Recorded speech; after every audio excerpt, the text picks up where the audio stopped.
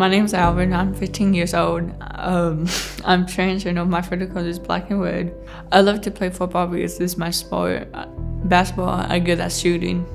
I have activities, spend time with families, um, meet new people. I really want to have a family with uh, who respect me and take care of me because I'm going through a lot and like it's hard in the inside seeing people with them families and loved ones. So, uh, my one of my goals is to be adopted.